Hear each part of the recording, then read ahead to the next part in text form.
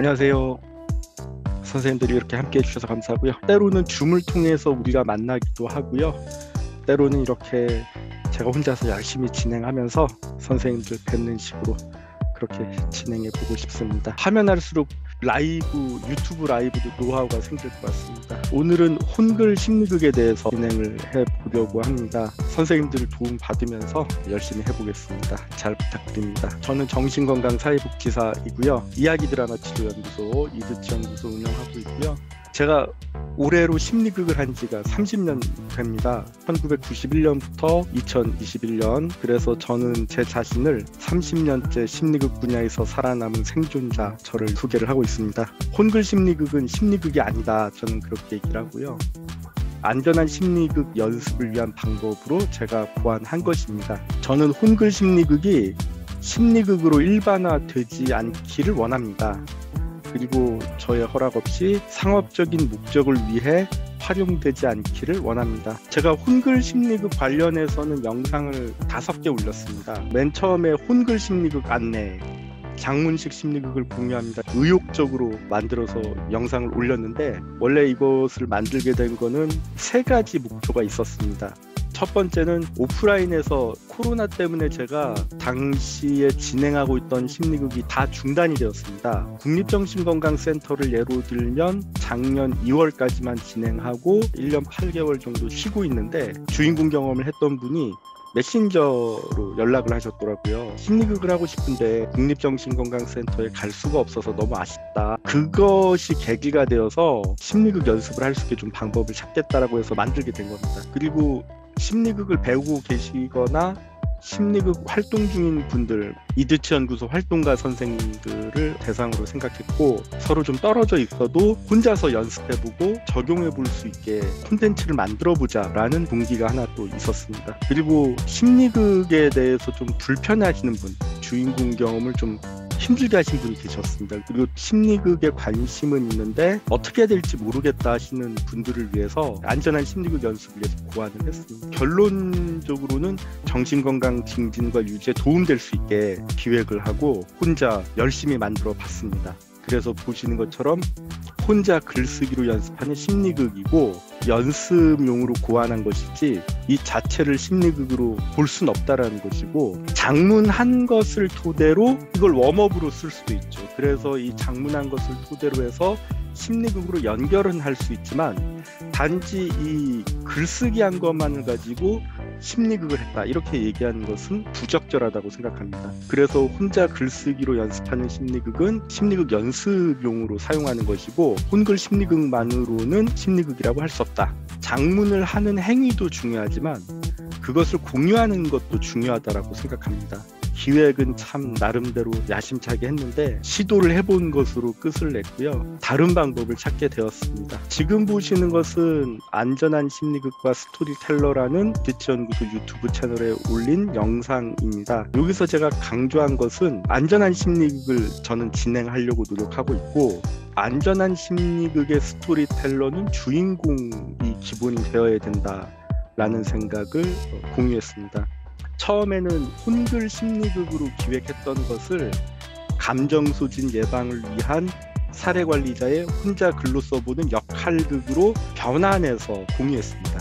글쓰기로 심리극 연습을 할 수도 있겠구나라고 생각한 것은 사이코 드라마의 집단 치료 매뉴얼이라는 책이 있습니다. 지금은 절판이 된 책인데요. 이 책에서 제가 영감을 얻었습니다. 사이코 드라마의 이해와 적용이라는 책입니다. 제가 이 책은 이드치 연구소 유튜브 채널을 통해서 영상으로 공유했습니다. 이 책을 보시게 되면 작문으로 심리극 연습을 할 수 있는 콘텐츠를 소개했습니다. 저는 가급적 구입을 추천드립니다. 제가 두 번째로 올린 혼글 심리극 영상은 혼글 심리극 특별판입니다. 햄릿의 독백 응용해 보기고요. 제가 많이 사용하고 있는 콘텐츠이기도 합니다. 햄릿의 유명한 독백이 있죠. 햄릿 하면 떠오르는 독백. 사느냐 죽느냐 그것이 문제로다. 이 대사가 제가 알기로는 햄릿의 3박 1장에 나오는 대사인데 제가 정신건강의학과에서 일하면서 상담하다가 가끔씩 이 대사를 인용하시는 분이 계셨습니다. 어떨 때는 아 그러시군요라고 듣기도 하지만 상황에 따라서는 이 대사가 원래 좀 길다라는 걸 알고 계신가요? 라고 물어보고 제가 설명을 해드리기도 합니다. 거기서부터 계기가 되어서 제가 햄릿의 독백을 장문으로 활용할 수 있게 만들어 보게 되었습니다. 예를 들어서 사느냐 죽느냐 그것이 문제로다라고 대사가 알려져 있죠. 원래 대사는 뒤에 이어져 있습니다. 좀 길죠.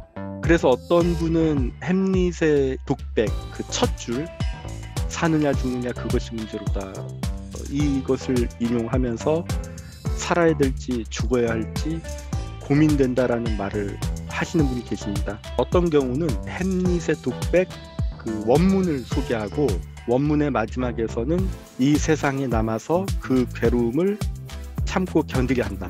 이렇게 소개를 하고 어떻게 생각하는지 얘기하고요. 상황에 따라서는 이 대사를 함께 읽어보기도 합니다.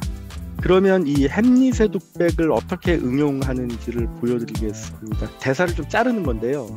시작 대사는 사느냐 죽느냐 그것이 문제로다라고 시작하고 중간 대사는 내가 직접 채워가는 겁니다. 장문을 통해서 이 세상을 떠나 우리가 알 수 없는 고통을 받기보다는 이 세상에 남아서 그 괴로움을 참고 견디려 한다라고 마무리 짓게 하는 겁니다.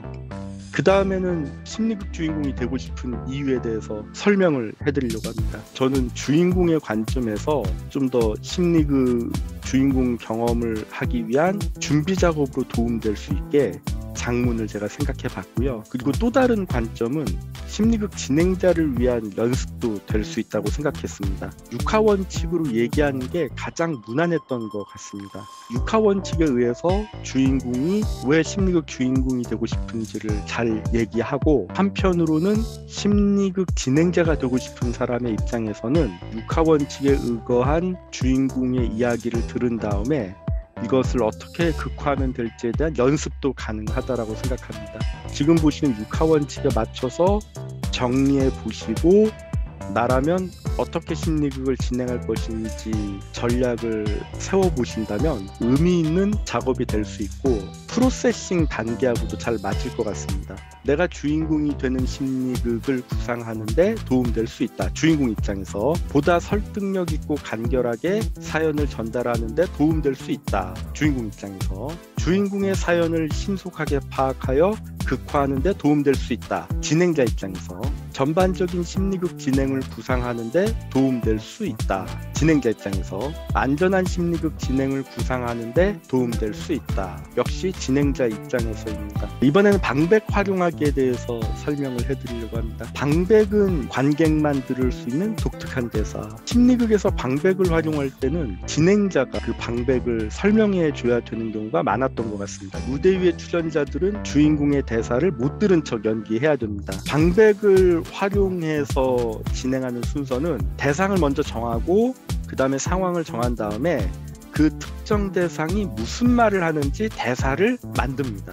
그 다음에는 주인공이 직접 나만의 방백을 특정 대상의 대사 사이에 끼워 넣습니다. 직영주식 심리극에서 활용하는 방백의 대상은 주로 세 가지 부류였는데 첫 번째는 가식적인 사람입니다. 두 번째는 주인공에게 분노를 유발하게 하는 사람. 그 다음에 세 번째는 주인공이 관심 혹은 애정을 제대로 표현하지 못한 사람입니다. 지금 보시는 것이 제가 마지막으로 소개한 겁니다. 콘텐츠를 만들게 된 것은 제가 작년에 읽었던 걸로 기억하는데 직장 상사가 화를 너무 많이 낸대요.